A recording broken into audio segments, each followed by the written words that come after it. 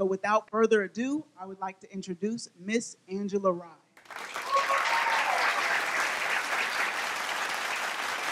Hi, everyone. Hello, everyone. Um, thank you so much for being with us tonight. It is um, my honor and privilege to be on my own road to 2020. Um, no, this is not a presidential announcement.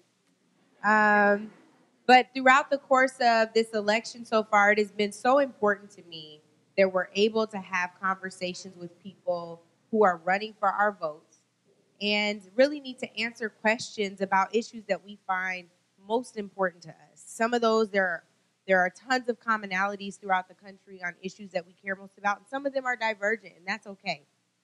So tonight here in Atlanta, Georgia, it is my honor and privilege um, to welcome someone who I've been a fan of for a really long time.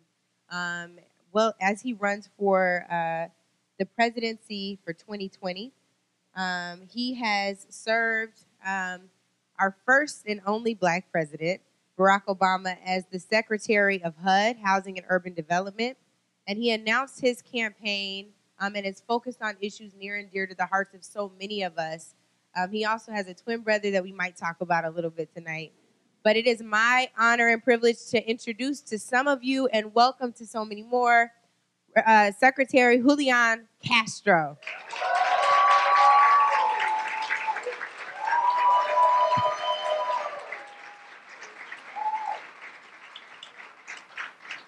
Okay, so we're going to get right to it. Oh, Fox News came to see you, Secretary Castro. Look at that. Fox News, just remember the facts, okay? Remember the facts. Remember Hopefully the they'll be nice today. facts. Wait, and if they're not, I will have the full tape to run that thing back. So, um, we are going to jump right in. Um, for those of you who have followed the podcast, you know that I do a little ice breaking round, and it is a rapid response round. Are you ready? I'm ready. Okay. The first one. This is a, just a preference question. Uh, latte or green tea? Ah, I hate green tea, so latte. latte. Okay. Uh, breakfast potatoes or grits? Uh, breakfast potatoes. What? Don't kick them out yet, y'all. Don't kick them out yet. All right. Uh, candied yams or mac and cheese? Uh, candied yams. All right. Candied you just yams, you yeah. just got your card Yeah. back. You Candied just yams. you just got it. Candied. Trying to recover here. Thank Trying to you. recover. Thank you. But you better make sure you can eat that. We're gonna be watching for it next. They're bringing you some up. I heard. I'm just kidding. Um, in living color or Martin? Uh, in living color, because it launched so many people's careers. Yeah. It launched so many people's careers, so much talent on the stage. Yeah. Okay. Ah, this one might be an easy one. Atlanta or Savannah? You would think this would be easy, right? But Savannah is very charming. So I, but Atlanta, because it has it all. Has it all. They said. A Town down. They, they almost kicked us both out for that one. All right. Um, greatest rapper of all time. Ah. Tupac. Ah! Tupac. Okay. You just got points with me. There's some Biggie fans out here real pissed though. Okay. Uh, now I want to do a word association. Word that comes to mind with Andrew Yang. Uh, thousand dollars free. That's three words, but I'm gonna let you go with that. You are on message. Uh, Melania Trump. Quiet. She is quiet. That's true. Um, Democratic primary. Fractured. Um, Stacey Abrams. Talented. Okay. Dreamers. Aspiring. Joaquin Castro. Good looking guy. Good looking guy. Good look. That guy looks good. Even with that beard. Oh, dang, that was my next one. I was gonna say Joaquin Castro's beard. You all, that's trending today if you haven't noticed. All right, my last one is reproductive rights. Uh, access. Hmm. You know, everybody needs them. Okay.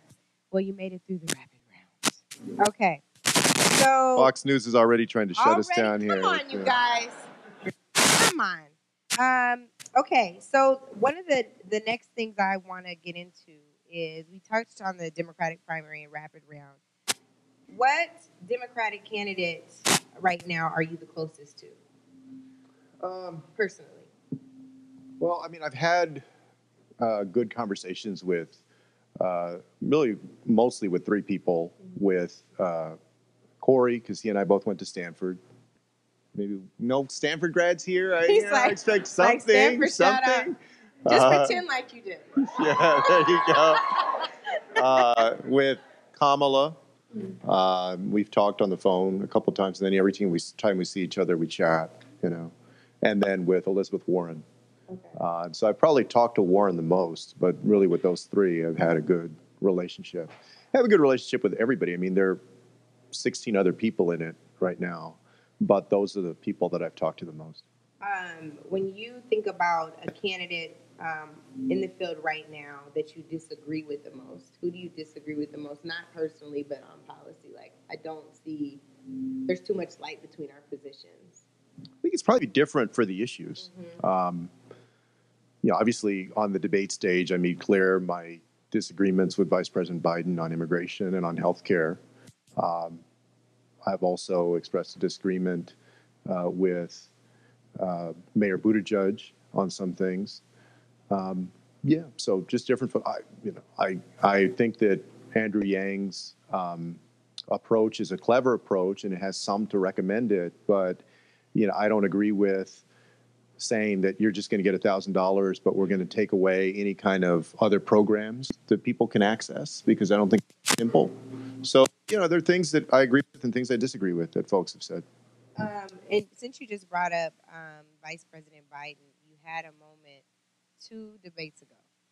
Um, and I'm interested to hear your approach. Oh, I remember it. I remember it. I Yeah, know you yeah. remember it. I wasn't questioning your recollection. Yeah. But speaking of memory, what happened is this debate is you challenged him on if he remembered what he said just two minutes ago.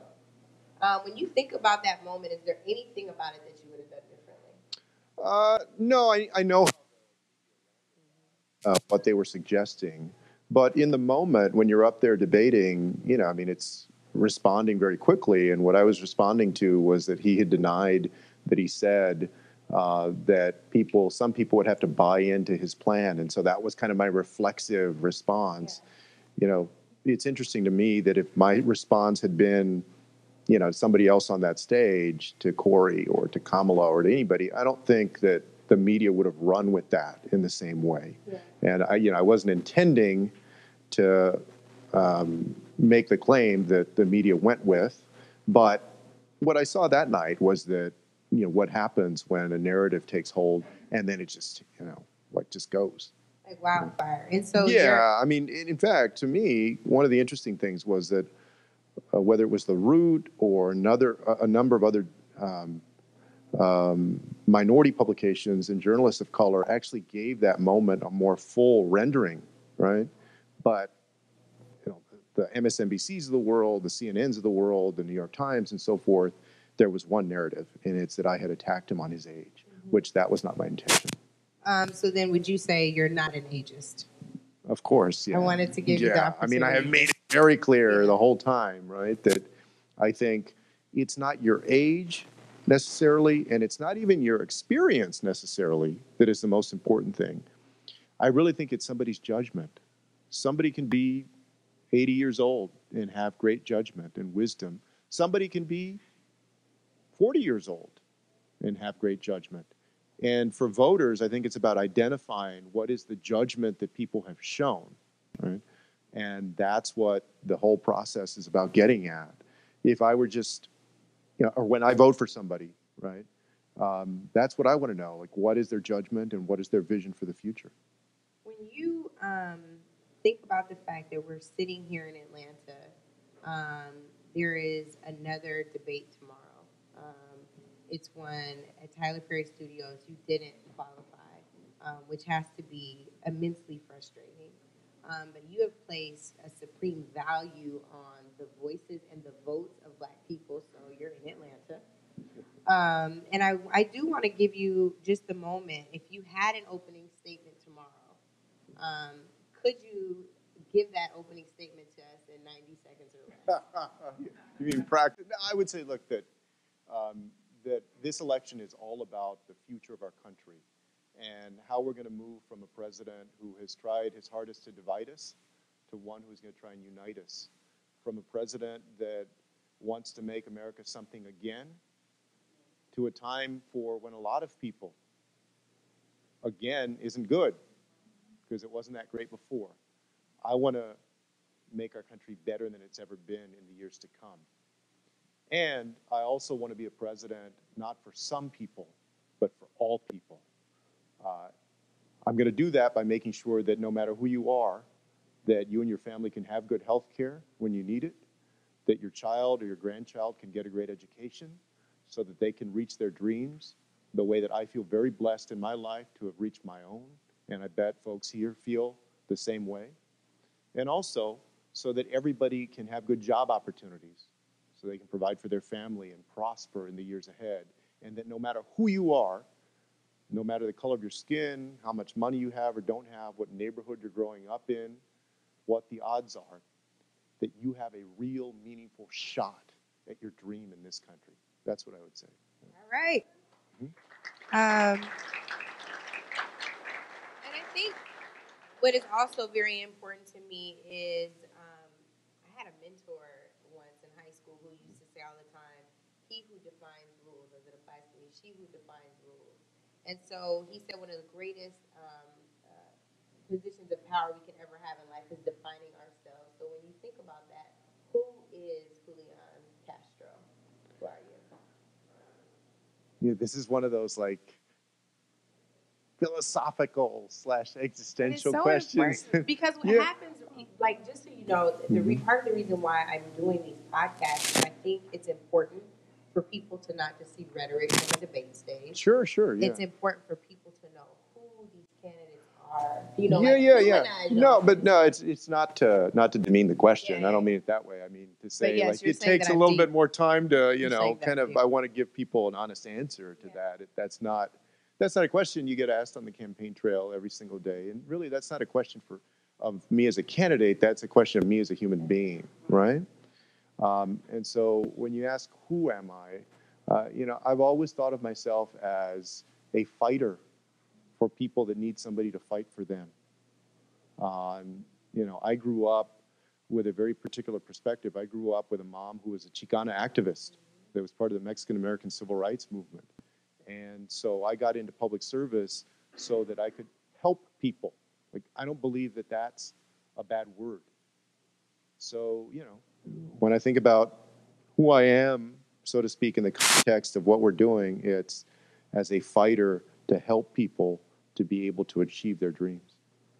I love that. And um, one of the most honest, sincere, and loyal people I have ever met in politics, a true talked about um, the critical role that you played um, as the founding class in the Young Elected Officials Network um, and the fact that you've always been engaged. And so, um, for the people who are just kind of meeting you on the campaign trail, to have someone who says you're the most honest person in politics they've met, that's big because we know that politics isn't necessarily for being in the honest business. What do you think about that?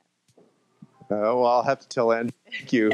Text him. Yeah. Um, no, I mean, and the feeling is very much mutual. First of all, with Andrew, out of what everything that happened in 2018 and all of the celebration of that night, the most heartbreaking outcome was Andrew coming so close and not becoming governor.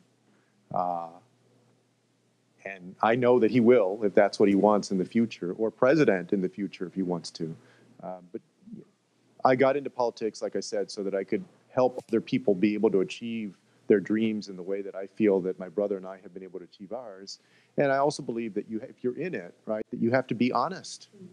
That we have way too many examples of um, dishonesty and lack of integrity in the Oval Office, but all the way down, as y'all know, where I grew up at school boards, right, um, in local politics at least my experience was that too often times in the communities that need honest honesty and integrity the most, sometimes you find that the least in our elected officials. And so I wanted to change that. You know, at, at every level, when I was on the city council, when I was mayor, when I was HUD secretary, I, I've tried to conduct myself in, in an honest way and tried to reform the ethics rules and laws. Uh, and also admit it when I made a mistake. I mean, in 2016, I violated that Hatch Act, you know, the, the one that Kellyanne Conway is like violated 50 times or something. 50 times a day. Yeah. Yeah. No, inadvertently, you know, when I was advocating for Secretary Clinton and I mixed my personal role with my professional role. And I said, when they brought that to my attention, yeah, I made a mistake and I'm going to make sure that it doesn't happen again. And so I think you have to approach it with honesty and integrity and be big enough to understand when you've made a mistake and then go on, you know? Um, and to that, um, I think one of the things that is also super interesting about not just making mistakes, but in creating pathways um, of opportunity for um, different constituencies, you've taken on um, in your role in this race as someone who is um, a chief racial justice advocate um, in your campaign. Do you feel like that's hurt you by taking on issues of race in a, in a climate where they tell us it's the white working class voter, we need to get those Trump voters back? What do you say to that? Is it hurt Uh, yeah, I mean, what I see in this election is that is that there's a media narrative, uh, and that may well reflect, you know, a good portion of the voters out there that think that the best way to beat Donald Trump is to appeal to a moderate to conservative base that Donald Trump is popular with, and to appeal to the white working class in the Midwest. And look, I think what we need is a nominee that can appeal to everybody. Right? I think what we need to do is that we need to go electrify that Obama coalition from 2008 of uh, people from different backgrounds, young people, uh, older people, working people in different parts of the country. Uh, and that's how we're going to win. The other thing that I pointed out, and, and now I've, you know, other people have pointed out as well, is that folks think about these states that we lost in Michigan, Wisconsin, Pennsylvania, and they think of rural communities. I mean, what powers our base, our votes in Michigan is Detroit. Right? What powers our, our, our votes in Wisconsin, a lot of it is Milwaukee in that area. And in, in Pennsylvania, it's Philadelphia. And so there are these important constituencies in those states that sort of just in the in the media narrative that's just being washed over. And and I have said that I think it's a mistake to only focus on that because what we risk is giving Trump a chance to do the same thing that he did in 2016. He won in part in 2016 because uh, black turnout fell from 66% in 2012 to 59.5% in 2016, and Latino turnout fell from like 48.5% in 2012 to 47% in 2016. So we need somebody that can excite the whole spectrum of, of Americans.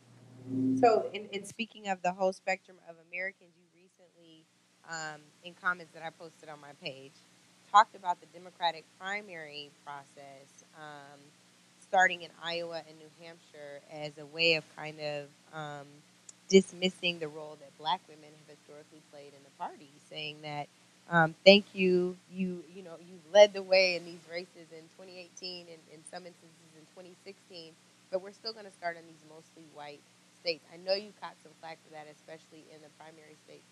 But why was that important for you to say and right now? Uh, it was in the vein of what I see as this this media narrative, popular thinking about how we should campaign, and also, I mean, like I just see that as a very obvious change that we need to make, and I see it as really a hypocrisy that we're dealing in because Democrats have gone after Republicans as we should for suppressing the vote of people of color, right? I mean, I agree with many people who have said would be governor if Brian Kemp hadn't dumped a whole bunch of people off the rolls and found other ways to suppress their votes, right? I mean, she she deserves to be governor of Georgia right now. She she deserves to be governor of Georgia right now.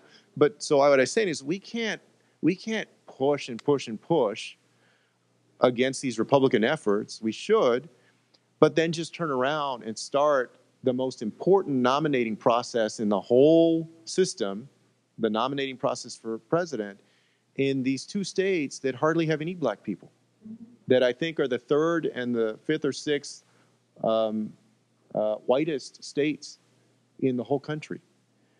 And that we need to find a way to ensure that the values we've espoused of diversity and of recognizing that everybody has a place at the table, for that to be reflected in our presidential nominating process. Iowa has had its caucus since 1972. We've changed a lot as a country in almost 50 years. We've changed a lot as a Democratic Party. I mean, think about that. 1972. Think about the timing of that. I mean, we're here at Paschal's at this historic spot for so many of the conversations that shaped and the action that shaped the civil rights movement. 1972 was right after the black community really had moved fully over into the Democratic Party. Shirley Chisholm was running for president that year in 72. And, and then all of a sudden in 72, the nominating process starts with the Iowa caucus, which even today is 90% white. I mean, what sense does that make? Didn't make sense then, and it certainly does not make sense in 2020, almost 50 years later. And I'll tell you, Angela, I mean, it's fascinating. I mean, this this has been more taboo for me to say this, yeah. For me to tell people in Iowa and in New Hampshire, hey, hey, hey, you know, maybe we should let other states have their turn. That's more taboo than arguing for Medicare for all, or you know, we need to we need to redo, or we need a, you know revamp of our tax code, or anything like that. I mean, I told folks the other day, if you are a Democrat and the most important thing to you is that your state gets to go first in how we nominate a president. I mean, you know, I I think that we can do better than that. And so I think I actually believe that in the years to come we will. I was very heartened to see yesterday in the Cedar Rapids Gazette there were six or seven people from Iowa, uh, who, including the chair of the rural caucus of the Iowa Democratic Party, that wrote an op-ed saying yes we actually do need to change this. Wow. So little bit there's there's support even in Iowa and New Hampshire. I, I don't want to paint everybody with the same brush. Right. There is sub- substantial support even within those states of people who recognize that we need to do it differently. What so. state do you think should go first? Uh, well, look, I know there have been Texas wouldn't be bad. no, no, look, I, there are different ways to analyze it, right? Yeah. So it's not my place to say, look, take this state um, I think what should happen is that people from different parts of the country and of diverse backgrounds should get together at the DNC uh, and they should put a process in place. That process should look like this. It should say, okay, what states reflect the diversity of the party? Also, of course, there should be a consideration of, you know, how big is a state? Because it's true, you know, the smaller the state, the more somebody that doesn't have all the money in the world is often able to compete. Does it have a good mix of rural and urban, right? Um, and and this is what I would add that a lot of folks have not talked about. If we really believe that that states should have pre-registration, that they should have uh, absentee voting, uh, early voting. In other words, if we believe that they should put all these things in place, why don't we reward the states that actually have done that?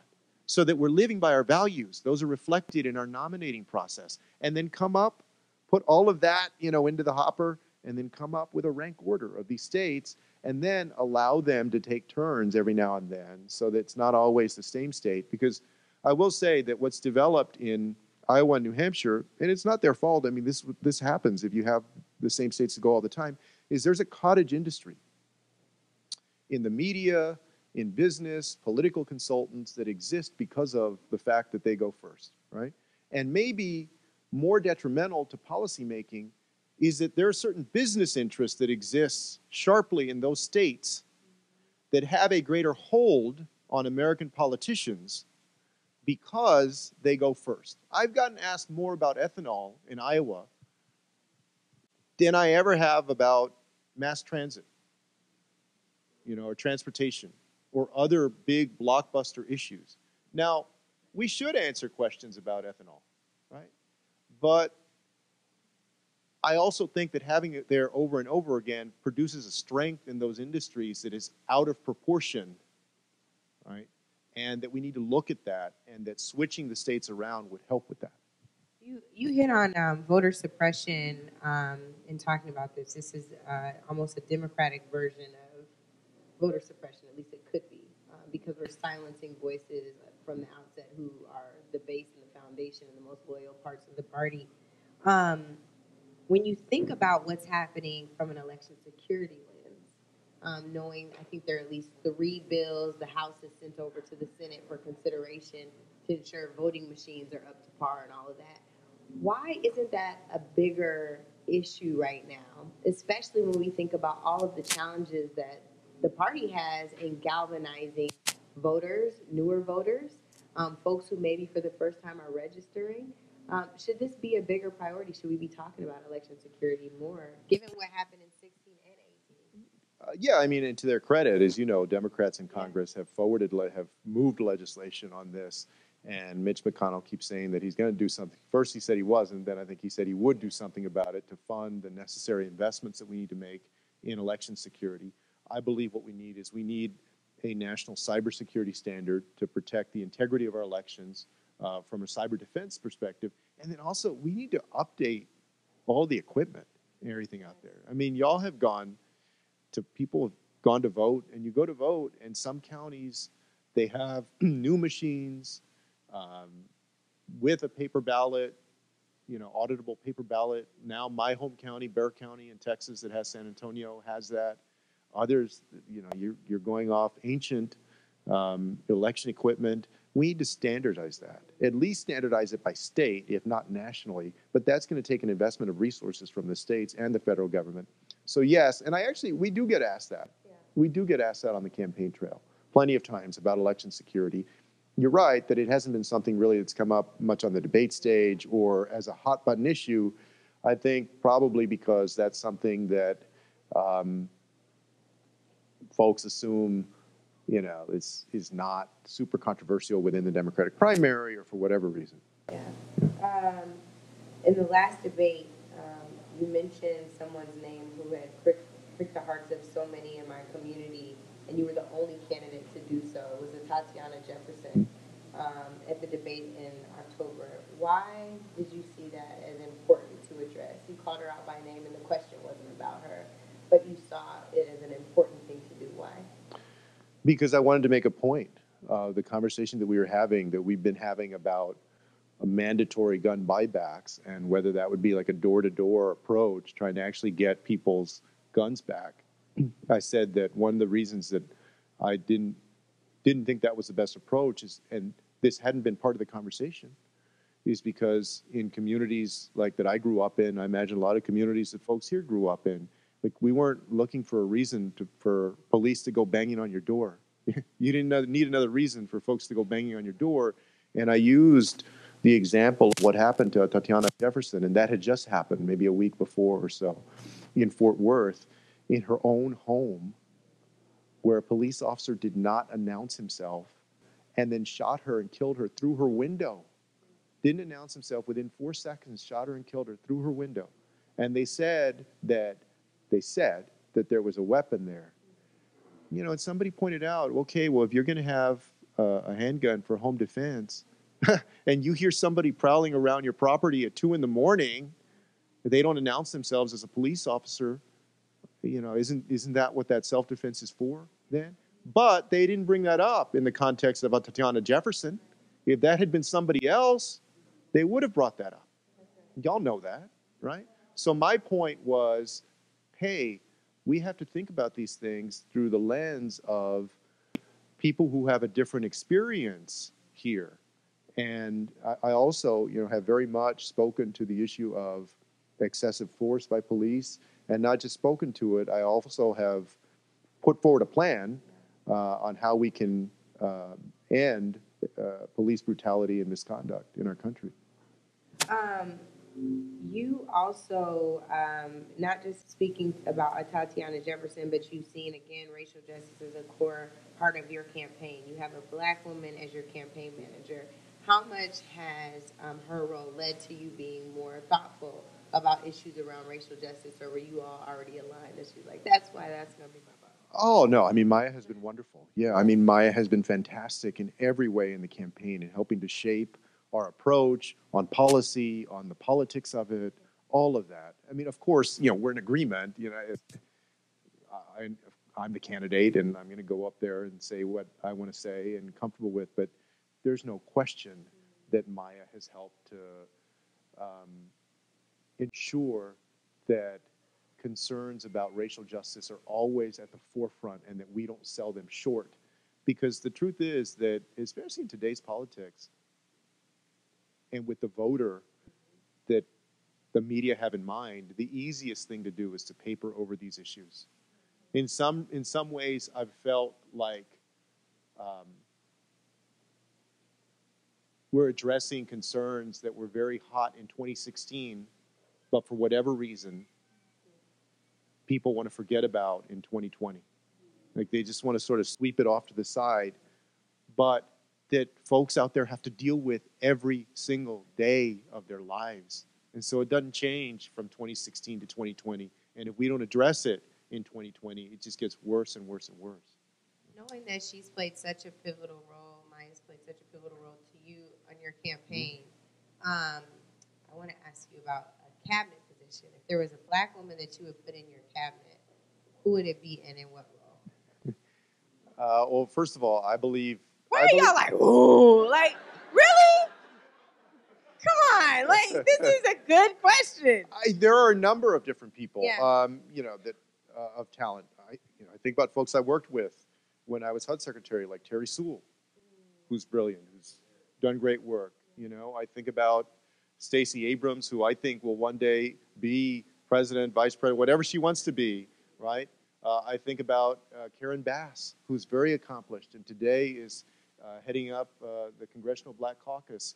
So there are a number of different people that I would consider for my cabinet, people of talent, uh, of experience that would lend um, a powerful voice to the work that they're doing and, and who really believe in the mission of their organization. One of the saddest things about um, what we see in the Trump administration is the people that are in those positions, whether it's Rick Perry at Energy and he forgot that department of the three departments that he wanted to do away with, Run Or- that tape back, y'all. That was bad. or Dr. Carson that succeeded me at Oh, I, HUD. was, I had you a know? Ben Carson question. There you go. I mean, who, of course, Like, I'm not answering. you know, in many ways, very accomplished in medicine, and you know, I'm We sure is a nice left It man. at that. I'll say it. You don't have to say it. We should have left right. his ass right there You in medicine. but my problem, Retired. you know, my issue with him is that he seems to think that if you're poor, there's something wrong with you. I don't believe that if somebody's poor, there's something wrong with him. Like I don't believe in um, in scapegoating people who are poor, uh, and so I tell they you don't believe in the something? mission of the organization. Can I tell you something? I know somebody must have, you have a great team. Somebody properly briefed you on my last question to Elizabeth Warren about the cabinet because you gave me three people. That was her question. Your question was one black woman in what role? So you start with Terri Sewell. Where would you put her in your? Oh, I think there are a number of different places that I would put. Anyone. Uh, uh, Just one. Secretary of, of um, Commerce, Secretary of Transportation, um, Stacey, Somebody either said Vice yes. President, uh, Secretary of State. I think a number of different positions. We positions. just got an think announcement also- today. Did y'all catch that? Uh, Did y'all catch that? Stacey. they're you know Coming for very you. talented and and have experience that is you know uh, multi-leveled and uh, you know would do a great job in a I number have, of different I positions. have one more super black question for you, and that is that is it is our 400th year here, um, and you were one of the first candidates to. Oh, I mean, I'm giving him a lot of firsts today. Have y'all noticed this? Look it up. I'm not lying to you. Fox News. I'm not lying to you either. There's a Fox News mic up here. Um, reparations. Um, President Obama, who you served under, didn't want to address reparations in either term, right? Was very uncomfortable with. He kind of couldn't. Well, I would argue he couldn't. As a black man, he's having a hard enough time getting his agenda across.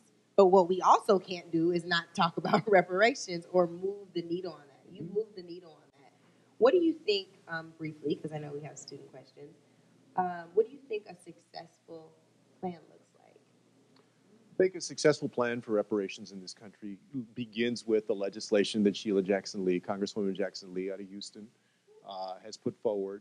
I think it's uh, HB or HR 40. HR 40. HR 40, um, which would create a commission that would then look at reparations and make a recommendation to the Congress, to the president on how we should move forward. To me, success would also look like ultimately finding a way to compensate the descendants of slaves um, and also do some of the things that other candidates have talked about, which is more broadly make investments in education and job opportunities and other things, but would also include specific compensation. That's my view.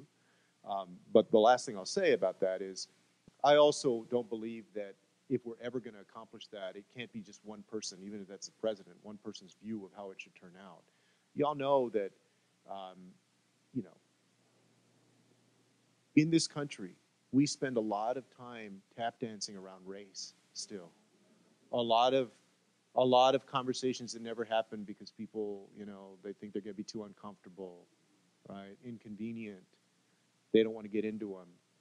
And people often ask, like, or sometimes they ask, you know, like, why, why are you talking about reparations? Number one, I believe that there's a moral debt that we have not paid, and there's an actual debt that we have not paid to families.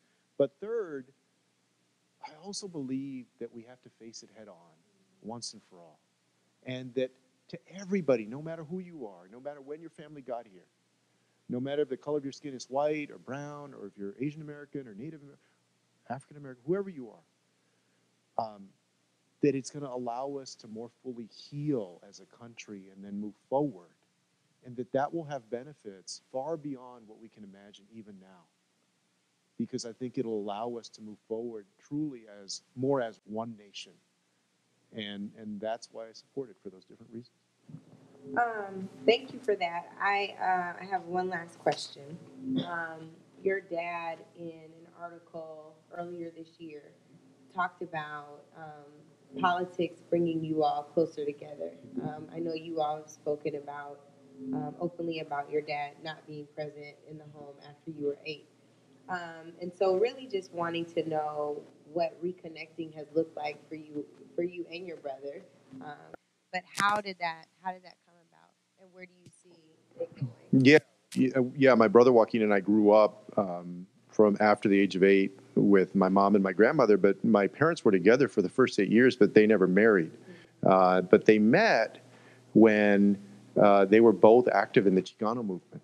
They met in 1968, and what was so fascinating is that my dad kind of burned out on it. He was a school teacher, public school teacher for 31 years, and after a few years, he kind of got out of. You know, he still followed politics, but he was not active in the same way. Whereas my mother kept going, and um, but when Joaquin and I got into politics, um, it was an opportunity, I think, also for my dad to be a part of our campaigns, the things that we were doing. Now we had had something of a relationship with him.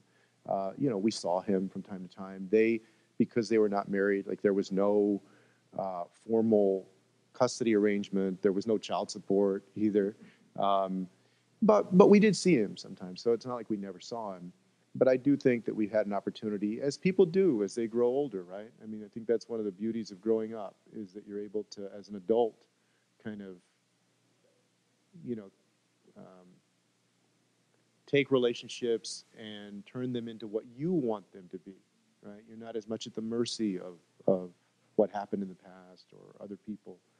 Uh, you know, I, we have a stronger relationship with my father now. Right. All right. So, thank you all so much. Um, before we depart, um, we gave you the opportunity to have your debate opening. You all want to hear his debate closing? Yeah. Secretary First of all, Castro. Angela, let's give it up for Angela. She's always a great interviewer. Thank you. Uh, look, to all of the interns, thank y'all. Thank y'all for making everything run so smoothly today. Uh, and to Besides everybody who came mics. here, uh, except except the static. Uh, uh, to everybody who came out here, look, um, you know, we're at a very crucial moment in our campaign. Uh, I'm not going to be on that debate stage tomorrow night, but the fact is that even though I'm not there, we've already influenced the debate that's taking place in our party. If they get asked a question about housing tomorrow, it'll be because we've kept speaking to the affordability crisis that we have in communities like Atlanta and others throughout the country and demanding that a housing question be asked at these debates. If they talk about immigration, it's clear that other candidates have moved their position because of the strong positive vision that I put forward on immigration. If they talk about police reform and accountability, it's because we brought it up first and actually put out a plan. And if they talk about communities that need things as basic as clean water, it may be because I went to Flint first in this 2020 cycle and then put forward a plan on how we can make sure that things like Flint never happen again, that we eliminate lead as a major public health threat. I want a country where every single person can prosper, where everyone counts. And we have an America where each and every person is able to reach their dreams, no matter who you are. Thank you very much.